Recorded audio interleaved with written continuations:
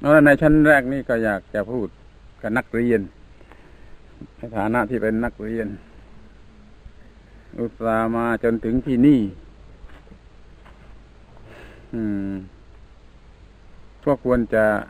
ได้ประโยชน์ตามที่มุ่งหมายในการมาที่นี่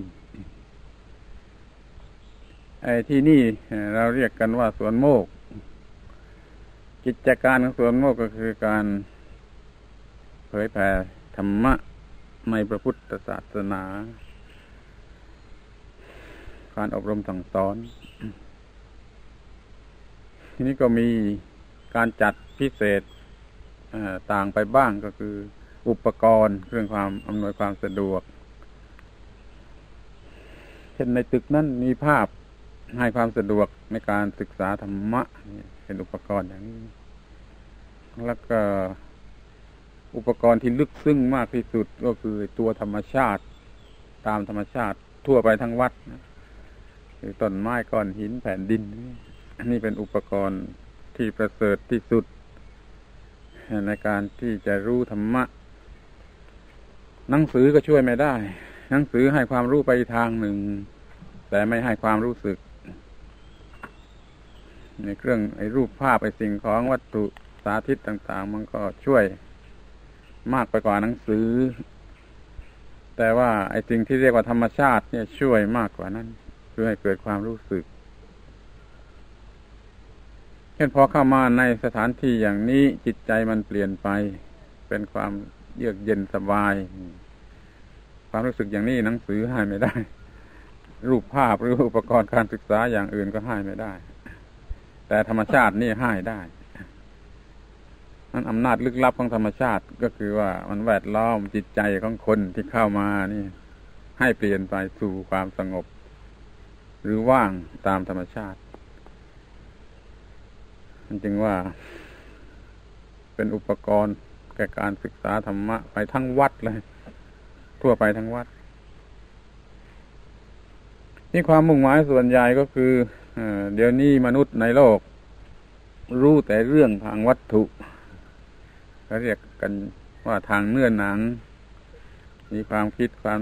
รู้ก้าวหน้าประดิษฐ์ แต่เรื่องทางเนื้อหนังทางวัตถุกระทั่งว่าไปโลกพระจันทร์ก็ได้ เรื่องทางวัตถุก้าวหน้ามากอย่างนี้ แต่เรื่องทางจิตใจนั้นเสื่อมทรามลง คือมีการรบราค่าฟันเวียนเวียนกันมากขึ้นกว่าแต่ก่อน แล้วก็จะมากขึ้นไปอีก และศีลธรรมของมนุษย์เมื่อนี้ก็เสื่อมทรามลงศีลธรรมเรื่อง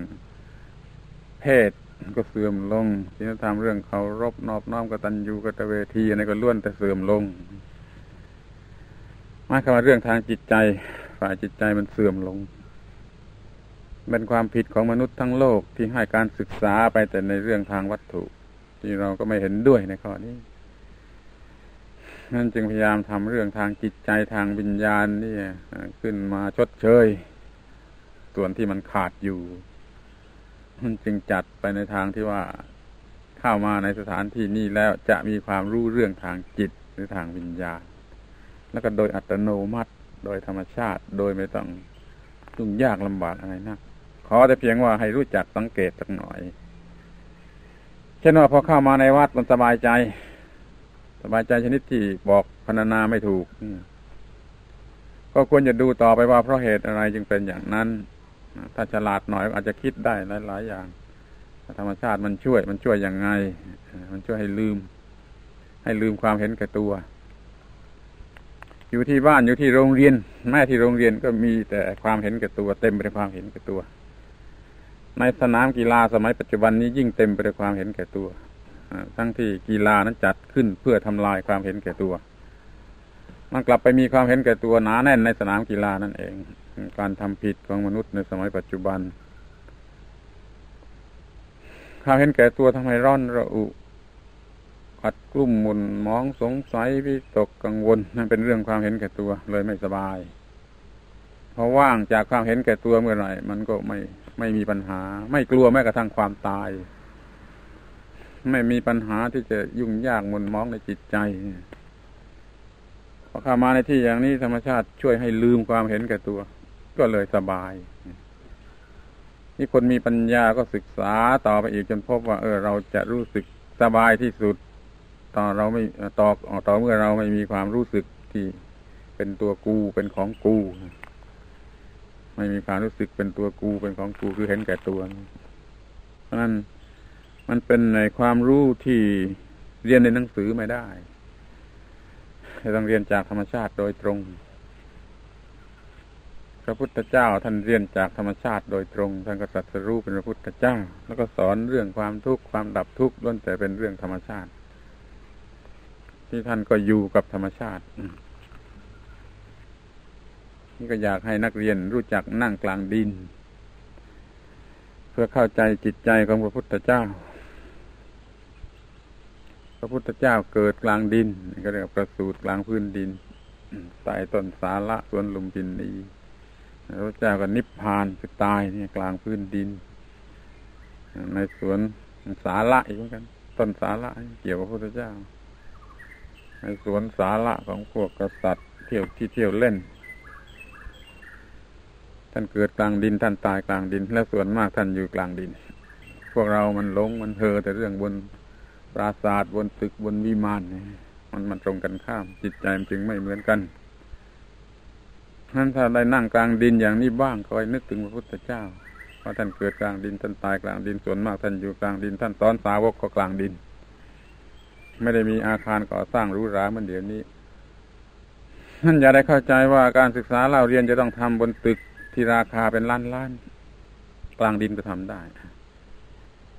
ถ้าเป็นเรื่องทางสูงสุดทางธรรมะทางจิตใจแล้ว ยิ่งจะต้องทำกลางดิน ถ้ามันช่วยช่วยมาก คือจิตใจมันเป็นไปเองตามธรรมชาติ เรามีจิตใจคล้ายจิตใจพระพุทธเจ้าได้ง่าย หรือเข้าใจจิตใจของพระพุทธเจ้าได้ง่าย ถ้าเราเป็นอยู่ให้เหมือนท่านนั้นนักเรียนควรจะจำไว้สักข้อหนึ่งว่า ถ้าเราอยากจะรู้หรือเข้าถึงจิตใจของผู้ใดแล้วเราจงเป็นอยู่ให้เหมือนผู้นั้นให้มากที่สุด เราจึงเป็นอยู่กินอยู่เป็นอยู่ ทุกอย่างให้เหมือนผู้นั่นมากที่สุด เราจะเข้าใจจิตใจของผู้นั่นได้ง่ายนั้นบางเวลาเราควรจะมีการเป็นอยู่กินอยู่อย่างสันโดษมากน้อยเหมือนพระพุทธเจ้ากันบ้าง เราก็เข้าใจธรรมะของพระพุทธเจ้าได้ง่าย ถ้าเรามีจิตใจเห่อเหิมไปตามก้นพวกฝรั่งเราก็ไม่มีทางที่จะเข้าใจจิตใจของพระพุทธเจ้าได้ ซึ่งมันตรงกันข้ามเดี๋ยวนี้ชาติล่าหลังเล็ก ๆ เนี่ยกำลังตามก้นฝรั่งวัฒนธรรมฝรั่งเลยเลอะเทอะเหมือนพวกฝรั่งคำว่าฝรั่งนี่ก็หมายถึงส่วนมากไม่ใช่ทั้งหมดซึ่งกำลังเสื่อมเสียในทางศีลธรรม การศึกษานำไปสู่ความเป็นฮิปปี้ในที่สุดอย่างนี้ มันก็เป็นเรื่องที่น่าสมเพช มันเดินคนละทางกันกับพระพุทธเจ้าถ้าเราอยากจะมีความสงบสุขอย่างมนุษย์ มันก็ต้องนึกให้มากในข้อนี้ ถ้าเราไปตามคนวัตถุนิยม มันก็เป็นเรื่องรบราคาฟันไม่มีที่สิ้นสุด เห็นแก่ตัวจัดยิ่งขึ้นทุกทียิ่งขึ้นทุกทีถ้าเราจะเป็นพุทธบริษัทเป็นมนุษย์ที่มีความสะอาดสว่างสงบก็ต้องตามหลังพระพุทธเจ้า นั่นพยายามศึกษาเข้าใจความสงบเยือกเย็นบริสุทธิ์สะอาดของธรรมชาติ ซึ่งปู่ย่าตายายของเราได้เคยทำมาแล้ว แล้วก็ประสบความสงบสุขนั่นขอให้นักเรียนทุกคนพยายามตั้งอกตั้งใจเป็นบุตรที่ดีของวิดามารดา เป็นสิทธิ์ที่ดีของครูบาอาจารย์ เป็นพลเมืองที่ดีของประเทศชาติ แล้วก็เป็นสาวกที่ดีของพระพุทธเจ้า นี่เอาสักสี่อย่างนี้ก็พอ ที่จริงมันก็มีมากกว่านั้น แต่ว่าที่มันมีใจความกว้างๆแล้วก็ขอให้เป็นบุตรที่ดีของบิดามารดาหนึ่งแล้วก็สองให้เป็นสิทธิ์ที่ดีของครูบาอาจารย์ แล้วก็สามให้เป็นพลเมืองที่ดีของประเทศชาติ แล้วก็ให้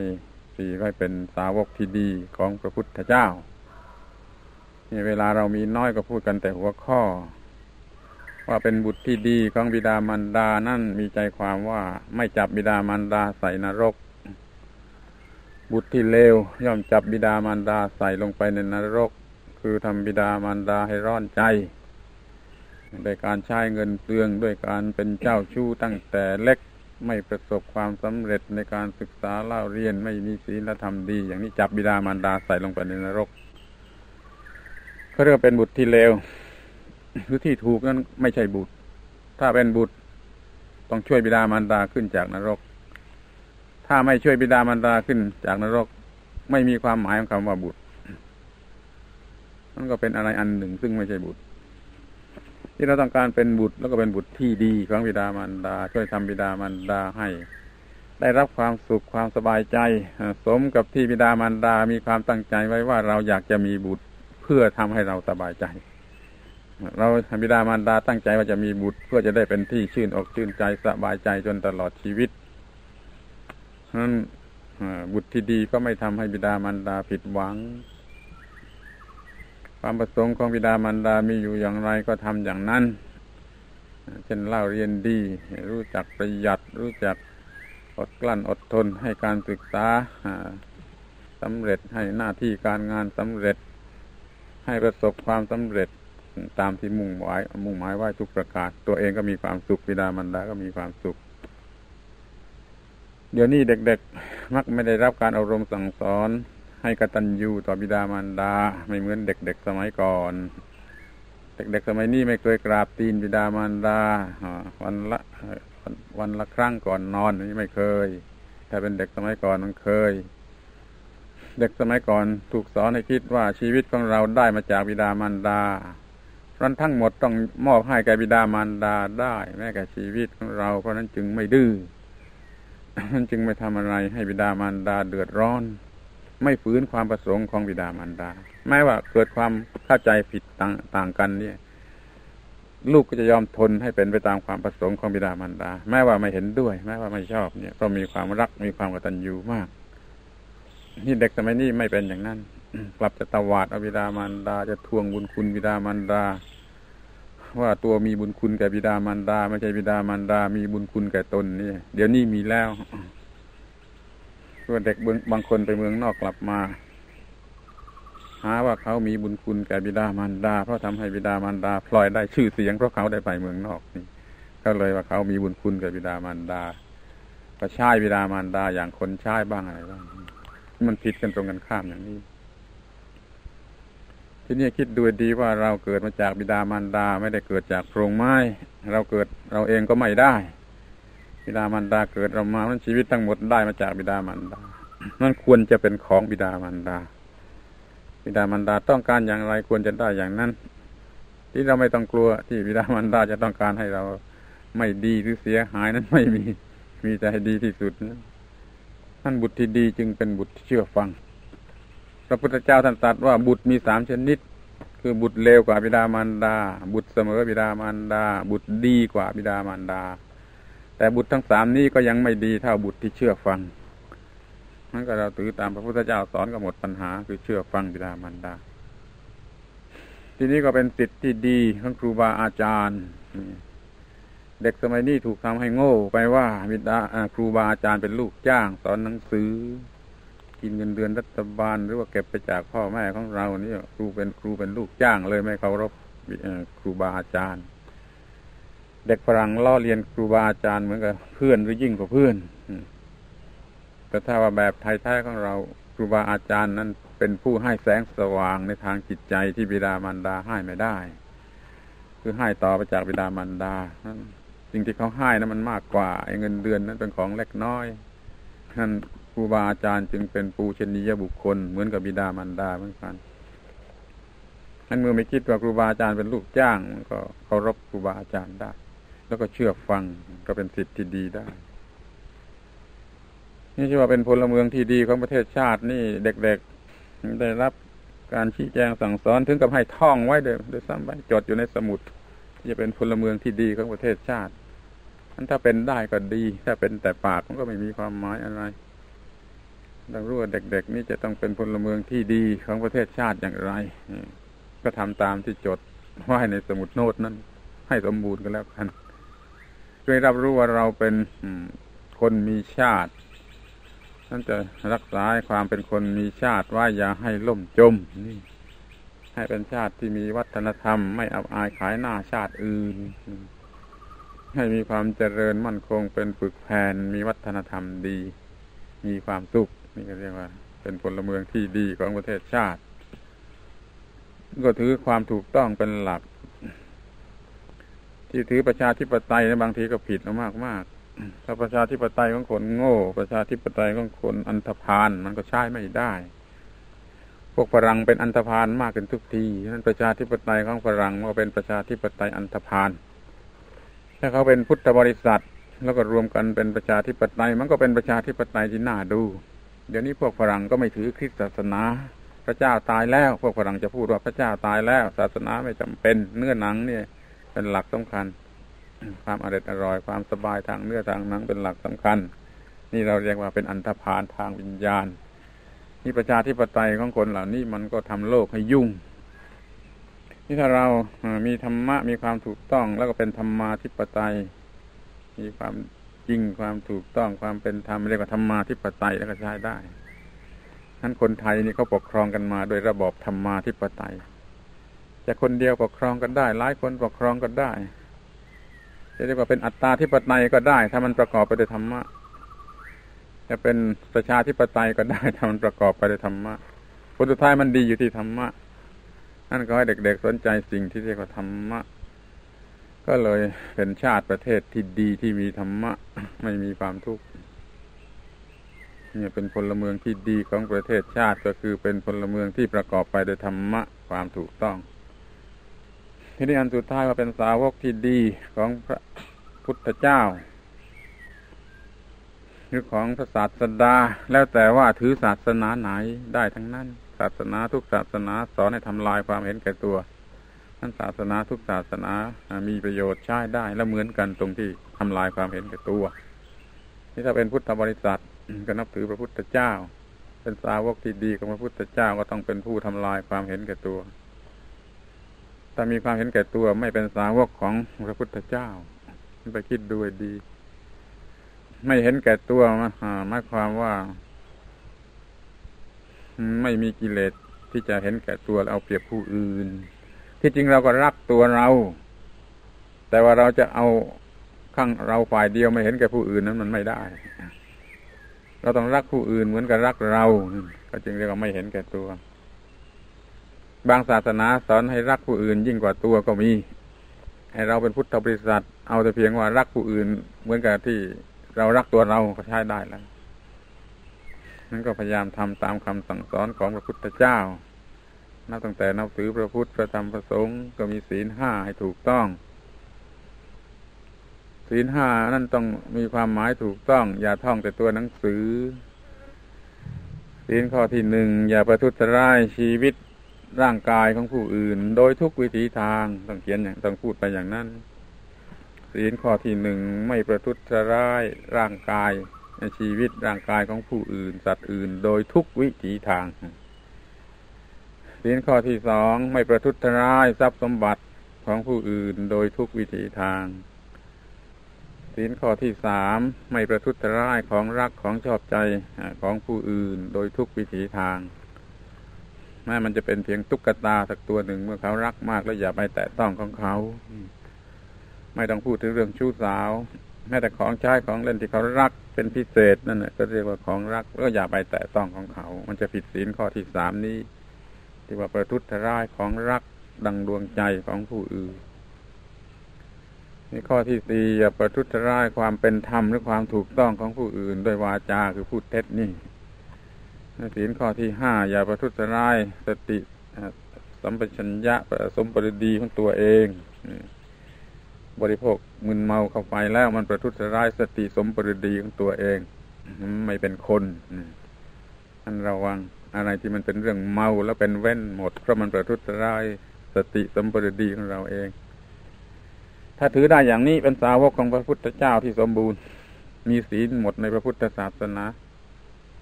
คอยจำไว้แม่นยำว่า ข้อหนึ่งอย่าประทุษร้ายชีวิตร่างกายผู้อื่น ข้อสองอย่าประทุษร้ายทรัพย์สมบัติผู้อื่น ข้อสามอย่าประทุษร้ายของรักดังดวงใจของผู้อื่น ข้อสี่อย่าประทุษร้ายความเป็นธรรมของผู้อื่น ข้อห้าอย่าประทุษร้ายสติสมปริดีของตัวเอง ถือได้อย่างนี้จะเป็นสิทธิจะเป็นลูกที่ดีของบิดามารดา จะเป็นสิทธิ์ที่ดีของครูบาอาจารย์ จะเป็นพลเมืองที่ดีของประเทศชาติแล้วก็จะเป็นสาวกที่ดีของพระพุทธเจ้าพร้อมกันไปในคราวเดียวกัน ไม่ต้องปฏิบัติหลายอย่าง ปฏิบัติอย่างเดียวเป็นหมดมันก็มีจิตใจสูง ไม่เห็นแก่ตัวไม่เห็นแก่ปากไม่เห็นแก่ท้อง ไม่มีความโลภความโกรธความหลงเกิดขึ้นได้ เพราะเรามันถืออยู่อย่างนี้ นี่เป็น เป็นยุวชนชาติไทยนับถือพุทธศาสนาต้องเป็นอย่างนี้ คือเป็นสิทธิเป็นลูกที่ดีของพ่อแม่เป็นสิทธิที่ดีของครูอาจารย์ เป็นพลเมืองดีของประเทศชาติเป็นสาวกที่ดีของพระพุทธเจ้าด้วยการทำอย่างนี้ ถ้าที่อื่นเรามัวคุยกันเอ็ดอึงเอ็ดโรไปผมประมาในที่สงัดอย่างนี้คอยนึกให้มากมากมันนึกได้ง่าย การนึกคิดอะไรลึกลึ่งนี่ลึกซึ้งนี่นึกในป่านี่ง่ายกว่านั่งนึกในโรงละครโรงหนังท่านเรามีแต่อยู่ในที่เอ็ดอึงยุ่งไปหมด มันนึกอะไรไม่ได้ทั้งการที่มาที่นี่คอยนึก มันเป็นโอกาสที่นึกได้ และทุกอย่างจัดไว้เพื่อให้สงบสงัดสำหรับนึก และยังมีของที่ช่วยเหลือการนึกเนี่ยเดี๋ยวเข้าไปในนี้ก็ดูรูปภาพ แต่เวลาคงไม่พอ ในนี้มีภาพอีศบครบทั้งชุด อีศบอย่างกรีกนะก็ครบทั้งชุด และยังที่คล้ายอีศบหรืออีศบของชาติอื่นมีอีกมากมายสำหรับเด็ก ๆ และมีเรื่องอีกหลายมากมายสำหรับเด็กๆนั่งมีสำหรับผู้ใหญ่ มีผู้ใหญ่อย่างตื้น ผู้ใหญ่อย่างลึกผู้ใหญ่อย่างกลาง และมีทั่วไปทั้งหลายหลายสาขาของวัฒนธรรม ถ้าเดินไปตรงนั้นพบต้นมะพร้าวอยู่กลางสระนั่นนะนี่จะเล่าฟังว่าดินแดนส่วนนี้ของเรานี่มีวัฒนธรรมสูงมาแต่เดิมกล่อมลูกเล็ก ๆ ให้นอนยังพูดถึงเรื่องนิพพานนี่เด็กๆลองฟังให้ดี ว่าพ่อแม่ปู่ย่าตายายสมัยก่อน กล่อมลูกให้นอนยังมีพูดถึงเรื่องนิพพาน บทว่ามะพร้าวนาลิเกต้นเดียวโนเน กลางทะเลขี้พึ่งฝนตกไม่ต้องฟ้าร้องไม่ถึง กลางทะเลขี้พึ่งถึงได้จะผู้พ้นบุญเนี่ย จะร้องกันได้ลงมาตั้งแต่นู่น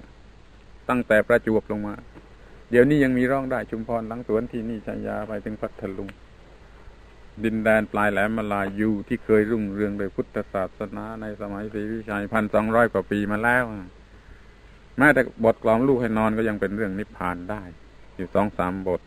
และเป็นเรื่องอื่นอีกเยอะแยะ เป็นเรื่องศีลธรรมเยอะแยะ เป็นเรื่องนิทานเป็นเรื่องชาดกอะไรอีกเยอะแยะไปหมดบทกลอมลูกให้นอนเนี่ยวัฒนธรรมมันเป็นอย่างนี้ ตอนนั้นเขาไม่มีหนังสือเขาไม่มีโรงเรียนเขาไม่ไม่มีคนอ่านหนังสือออก แต่เขาสอนกันโดย สิ่งที่กระทำอยู่เป็นประจำวัน เช่นกล่อมลูกให้นอนก็สอนธรรมะอันลึกซึ้งหนังตะลุงมโนรา ก็สอนภาษาสอนจริยธรรมอยู่ในหนังตะลุงมโนรา แต่เดี๋ยวนี้คนมันบ้าหนังตะลุงมโนราเป็นเรื่องลามกอนาจารไปแล้ว ไม่มีการศึกษาอยู่ในนั่นแล้ว แต่ถ้าเป็นสมัยก่อนที่คนไม่รู้หนังสือโรงเรียนไม่มีแล้วก็การศึกษาได้จากหนังตะลุงจากมโนราจากบทกล่อมลูกจากอะไรต่าง ๆ คนก็มีศีลธรรมดีมีความสุขเหมือนกันอย่างนี้ทุกอย่างเป็นไปทางลามกอนาจารเป็นภาพยนตร์เป็นละครเป็นมโนราเป็นหนังเป็นตะลุงเนี่ย เป็นเรื่องลามกอนาจารโดยตรงบ้างโดยอ้อมบ้าง โดยไม่รู้สึกตัวบ้างคนก็เลวลง โลกนี้ก็รบราคาฟันกันมากขึ้นนั่นเราระวังให้ดีๆ นี่พูดนี่เพื่อให้ลึกถึงบิดามารดาปู่ย่าตายายที่ตายไปแล้ว เคยมีความเจริญในทางนี้ แล้วเรามีเป็นเลือดเป็นเนื้อของท่านออกมานะอย่าอย่าได้อวดดีว่าเรามาจากที่อื่น เรามาจากสายเลือดสายเนื้อของบิดามารดาปู่ย่าตาชวดนู่นมันก็ต้องมีอะไรที่มันเหมาะสมกัน เนี่ยก็เดินไปดูจะเห็นว่าต้นมะพร้าวอยู่กลางสระสระหมายถึงทะเลขี้พึ่ง ต้นมะพร้าวมะพร้าวนาฬิเกอยู่กลางทะเลขี้พึ่งฝนตกไม่ตองฟ้าร้องไม่ถึงที่นั่นคือไม่มีความทุกข์ทะเลขี้พึ่งนี่หมายถึงความทุกข์เดี๋ยวเป็นของแข็ง เดี๋ยวเป็นของเหลว คือเดี๋ยวสุกเดี๋ยวทุกข์เดี๋ยวสุกเดี๋ยวทุกข์มันทรมานเหมือนกับทะเลขี้พึ่งขี้พึ่งเมื่อร้อนก็เหลวเมื่อเย็นก็แข็งนี่พูดไม่ได้ว่าของเหลวหรือของแข็งนั่นคือความทุกข์มะพร้าวอยู่กลางทะเลขี้พึ่งแต่ไม่เป็นอย่างนั้น นี่เราทำจิตออกมาเสียจากสิ่งที่ทำเป็นทุกข์ในโลกนี้มีแต่สิ่งที่ทำเป็นทุกข์แล้วเรารักษาจิตของเราไว้ได้ไม่ให้เกี่ยวข้องกันเราก็ดูมันเล่นได้ เขาทำชั่วมีความทุกข์เราก็ดูมันเล่นได้ เราไม่ทำชั่วเราไม่มีความทุกข์เหมือนมะพร้าวนาฬิเกแม่อยู่กลางทะเลขี้พึ่งก็ไม่มีความทุกข์เนี่ยเป็นตัวอย่างต้องการจะดูอะไรอะไรในวัดนี้ภูเขานี่อยู่กลางวัด นี่มีอยู่กันรอบภูเขาพระอยู่ทางหลัง บาสิกาอยู่ทางนี้ ที่ตรงนู้นมีที่ทำภาพปั้นพุทธประวัติที่ไม่เคยมีในประเทศไทยเขาปี้มาจากประเทศอินเดียไปดูเขาจะอธิบายให้ฟังจะเป็นความรู้ชนิดที่ไม่เคยได้ยินได้ฟัง แต่เวลานี่มีน้อย ก็ดูได้พอพอรู้เรื่องได้ที่จริงมันต้องใช้เวลามาก แต่ถึงอย่างไรก็ดีไอ้สิ่งที่ดีที่สุดของที่นี่คือความสงบสงัด ให้มันช่วยแวดล้อมจิตใจเราให้สงบเย็น พอจิตใจของเราสงบเย็นก็มีความฉลาด มีความเข้าใจมีอะไรถูกต้องไม่ไม่มีทางที่จะผิด ไม่มีอะไรยั่วไปในทางให้ทำผิด มีแต่ยั่วไปในทางให้หยุดให้สงบให้สะอาดท่านถ้าได้รับความสบายใจอย่างไรที่นี่ก็ขอเอาติดไปด้วย กลับไปบ้าน ให้ระลึกถึงว่าจิตใจเย็นอย่างไรเมื่อนั่งอยู่ที่นี่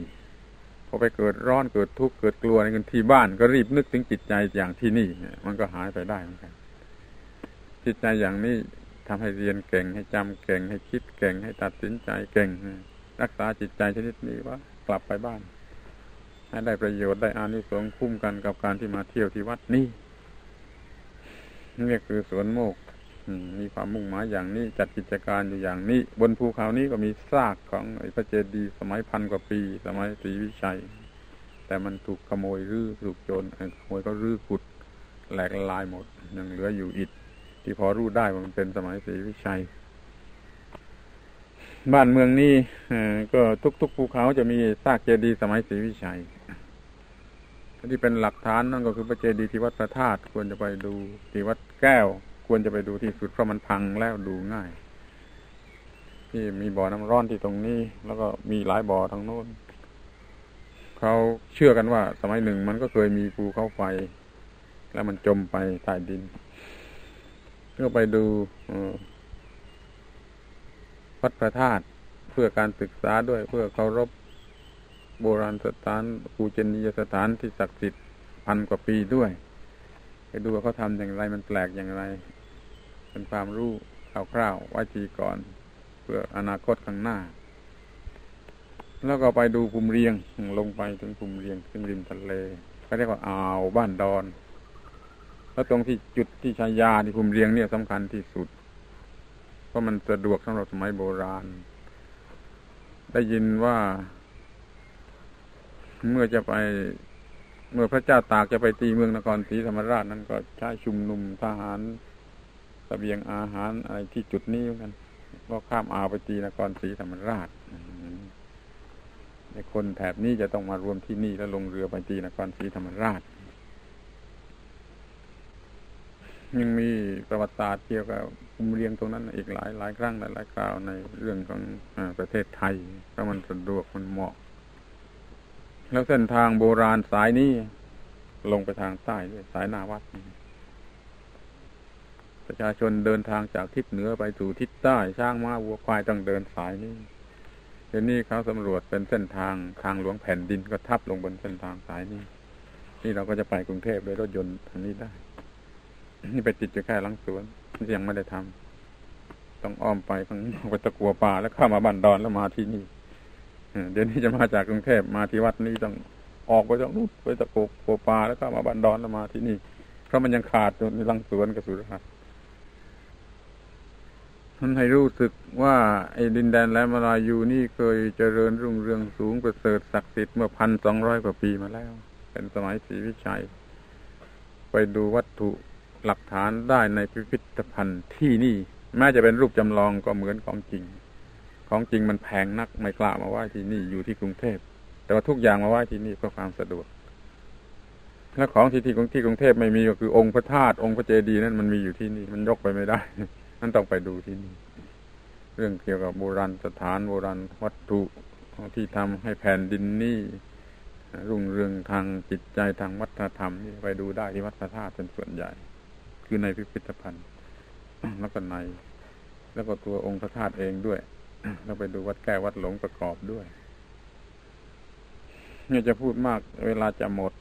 ไม่มีพอสำหรับไปดูสิ่งต่างๆ แล้วก็ขอยุติว่า สวนโมกนี้จัดขึ้นเพื่อชดเชยแห่ความเสื่อมทรามตกต่ำทางด้านจิตใจ เรามีความเจริญทางวัตถุมากเกินไป จนไม่รู้จักตัวเองจนเห็นแก่ตัวเองมากเกินไปนี่ก็ต้องมีการชดเชยทางจิตใจ ถ้ามีเวลาก็มาเที่ยวอีกจะได้รู้เรื่องมากขึ้นไปอีก วันนี้มันก็เวลามันมีน้อย แต่ก็ให้จำติดใจไปไว้สักอย่างหนึ่งว่า มนุษย์ต้องมีเรื่องจำเป็นสองเรื่องคือเรื่องกายกับเรื่องจิตใจ ถ้ามีแต่เรื่องกายเรื่องจิตใจไม่มีแล้วเป็นสัตว์เดรัจฉาน สัตว์เดรัจฉานไม่มีธรรมะทางจิตใจก็เป็นสัตว์เดรัจฉานเดี๋ยวนี้มนุษย์ก็กำลังจะเป็นสัตว์เดรัจฉานเพราะละเลยเรื่องทางจิตใจ ไปตามก้นพวกที่เอาแต่เรื่องทางเนื้อหนังนี่มันก็เลยลำบากยุ่งยาก ขอให้ช่วยกันภาวนาตั้งใจ เรียกร้องความ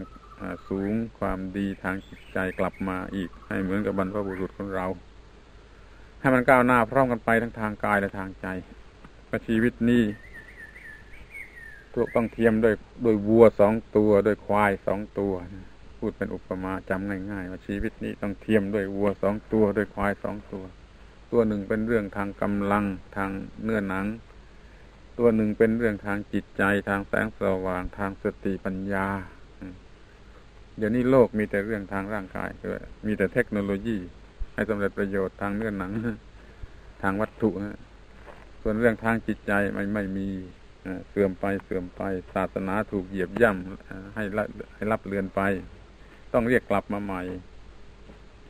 เขาเรียก spiritual enlightenment เนี่ย ความสว่างสวายทางจิตใจนี่ต้องเรียกกลับมาใหม่ เคียงคู่กับวิชาสมัยใหม่คือเทคโนโลยีทุกแขนงแล้วมันก็ไปคู่กันไปสู่ความเจริญ นักเรียนจะต้องรู้ใจความสำคัญไว้อย่างนี้เสมอไปม่อย่างนั้นก็จะผิดทางแล้วจะลกวกกลับลงข้างคูก็ตกจมลงไปในคูเดินไปไม่ได้